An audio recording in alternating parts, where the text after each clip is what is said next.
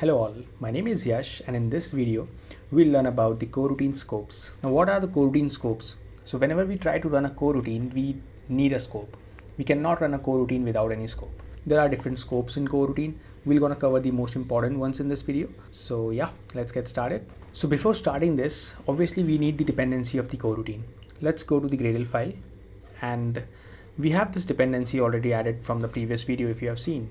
So if you have seen the previous video, we already have this dependency added. And I've also added this new dependency. This is uh, related to the lifecycle scope of the coroutines, uh, which we will learn about this later in this video itself. So as of now, I have commented this. We don't need it as of now, but after a few minutes, uh, we'll use this. So I'll tell you about this. So as of now, I'm commenting this. This is the one which we needed right now. Make sure you have added this dependency. Now let's get back to the main activity. Now what is global scope? So global scope is something which uh, will be act on a global level of your application.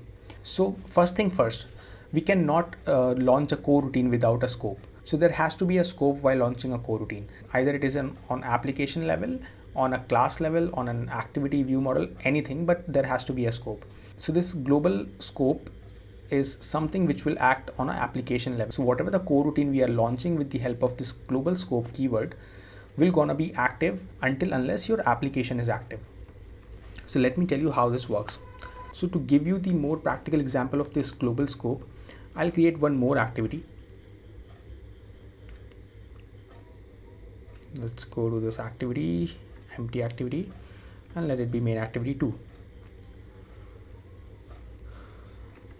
What we will do is, we will launch here one global scope dot launch. Now this coroutine will gonna be on the global level that is on application level. Global level i mean in an application level. And what is application level? If something is launching in the application level that will gonna be there till the time the application is there. So this particular global scope dot launch will not destroy it or will not stop even if this main activity finishes. Let me tell you why this is bad. Let's suppose this is a profile activity or something else activity where, where or any other activity where basically we need a few data from the API. Now, whenever we are opening this activity, we need that data. Otherwise, we don't need that data and we don't want to waste our resources on that data, obviously, because we don't need that. Whenever any user opens this activity, so this uh, coroutine will gonna launch. This will gonna hit the API and get the data from the API. And we can show that data in the UI. That's the purpose of it. That is working fine completely. Now, what if the user presses the back button? So if user presses the back button, then this profile activity or the current activity will gonna be destroyed obviously. But this global scope coroutine will not gonna be destroyed. This will be active because it is at the application level and application is not destroyed yet. Only this activity got destroyed. That is the reason why we are not supposed to use this until unless we have a strong use case that that something is needed at the application level. Now let's see the practical example of it. So I've written this global scope dot launch. I'll create one infinite loop and I'll make the delay of one second and I'll try to print the log of uh, let's suppose this is my main activity global scope running and let's also override the on destroy method so that I can show you that this main activity got destroyed. Now we have to call this activity from this activity. So, so for the sake of time, I'll just uh, apply the click listener on this text view itself. I'm not gonna make a button. So we don't need to implement the data binding as of now and here we're gonna start the activity and here we're gonna start the main activity. Okay I haven't specified the intent. Okay so now I'm gonna run this application and let's see in the logcat what happens.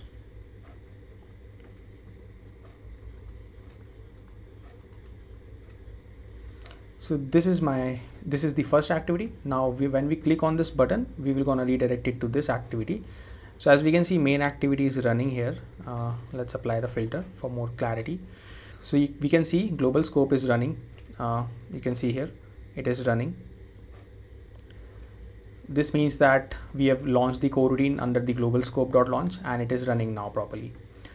Now, if I'll press the back button, let's see what happens.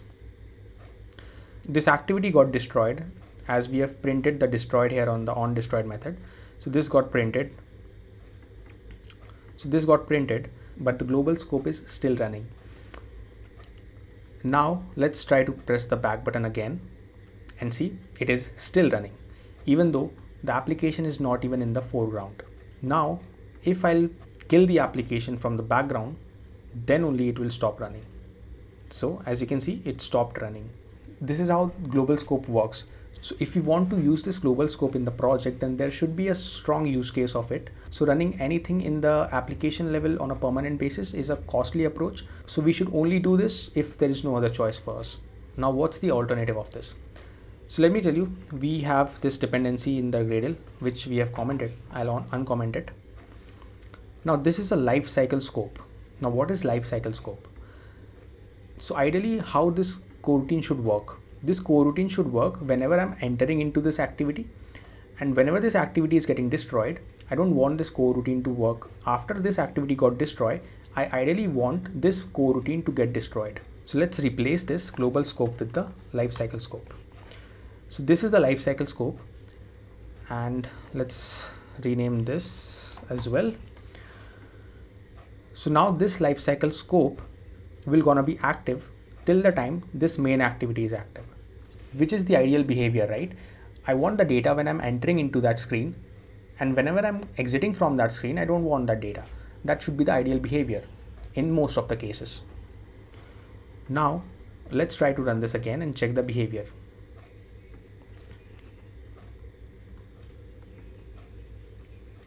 Okay, I'm entering into the second activity. See, lifecycle scope is also started running because we have entered this activity now let's press the back button.